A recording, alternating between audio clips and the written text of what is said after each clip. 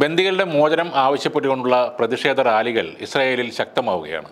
Israel ജനത മാസങ്ങളായി തുടരുന്ന പ്രതിഷേധത്തിൽ ചൊവ്വാഴ്ച രാത്രിയും ആയിരക്കണക്കിന് ആളുകൾ ഇസ്രായേലിന്റെ തെരുവുകളിലേക്ക് ഇറങ്ങിയിരുന്നു. ടെല്ലവീവിൽ നടന്ന പ്രതിഷേധ പരിപാടിയിൽ ഹമാസിന്റെ കീഴിൽ ബന്ദികളാക്കപ്പെട്ട ഇസ്രായേൽ പൗരന്മാരുടെ ബന്ധുക്കൾ നെതന്യാഹുവിന് എതിരെയും നെതന്യാഹുവിന്റെ ഭരണകൂടത്തിനെതിരെയും ആഞ്ഞടിക്കുകയായിരുന്നു. വെടിനിർത്തൽ കരാർ അംഗീകരിച്ച് ബന്ദികളെ മോചിപ്പിക്കാനുള്ള സമയമാണിതെന്ന് പ്രതിഷേധക്കാർ നെതന്യാഹുവിന് മുന്നറിയിപ്പ് നൽകി. തങ്ങളുടെ മക്കളെ ഉപേക്ഷിക്കാൻ അനുവദിക്കില്ലെന്നും അവരെ ഉടൻ തിരിച്ചു കൊണ്ടുവരണമെന്നും ബന്ധുക്കൾ പറഞ്ഞു. ഹമാസ് വെടിനിർത്തൽ കരാർ അംഗീകരിച്ചു കഴിഞ്ഞു. ഇനി ബന്ദികളെ തിരിച്ചെത്തിക്കാനുള്ള സമയമാണിത്. നെതന്യാഹു സർക്കാർ ബന്ദികളെ തിരിച്ചെത്തിച്ചില്ലെങ്കിൽ രാജ്യം ഞങ്ങൾ കത്തിക്കും എന്നാണ് ഒരു ബന്ദിയുടെ മാതാവ് പറഞ്ഞത്. നിങ്ങളുടെ കൈകൾ രക്തം പുരണ്ടതാണെന്ന ബാനറുകളുമായി നെതന്യാഹുവിന്റെ വസതിയിലേക്ക് നൂറിലധികം മാർച്ചുകളാണ് ഇതുവരെ ഉണ്ടായിട്ടുള്ളത്. തിങ്കളാഴ്ച കെയ്റോയിൽ വെച്ച് നടന്ന മധ്യസ്ഥ ചർച്ചയിൽ വെടിനിർത്തൽ കരാർ ഹമാസ് അംഗീകരിച്ചിരുന്നു. എന്നാൽ തങ്ങൾ മുന്നോട്ട് വെച്ച നിർദ്ദേശങ്ങൾ അംഗീകരിക്കപ്പെട്ടില്ലെന്ന് ചൂണ്ടിക്കാണിച്ചുകൊണ്ട് ഇസ്രയേൽ ആ വെടിനിർത്തൽ കരാർ തള്ളിക്കളഞ്ഞു.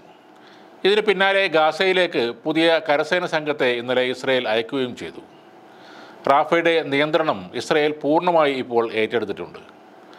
പലസ്തീൻ തടവുകാർക്ക് പകരമായി എല്ലാ ഇസ്രയേൽ തടവുകാരെയും ഘട്ടം ഘട്ടമായി മോചിപ്പിക്കണമെന്നാണ് ഇസ്രയേൽ ആവശ്യപ്പെട്ടത്. ഒക്ടോബറിൽ ഹമാസ് ബന്ദികളാക്കിയ ഇരുന്നൂറ്റമ്പത് ഇസ്രയേൽ തടവുകാരിൽ നൂറ്റി ഇരുപത്തെട്ട് പേർ ഇപ്പോഴും മോചിതരായിട്ടില്ല. ഇവരിൽ മുപ്പത്തഞ്ച് പേർ ആക്രമണങ്ങളിൽ കൊല്ലപ്പെട്ടുവെന്ന് ഇസ്രയേൽ തന്നെ സ്ഥിരീകരിക്കുകയും ചെയ്തിട്ടുണ്ട്.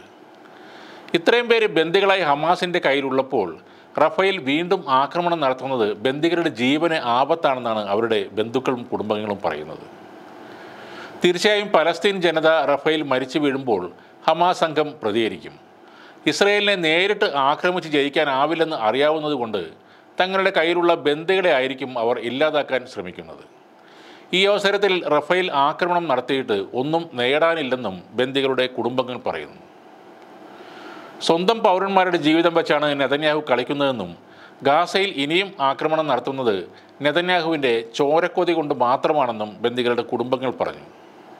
യുദ്ധത്തിൽ തീർത്തും തെറ്റായ രീതിയായിരുന്നു നെതന്യാഹു സ്വീകരിച്ചതെന്ന് ഇസ്രായേലിലെ മാധ്യമങ്ങളും പറയുന്നു.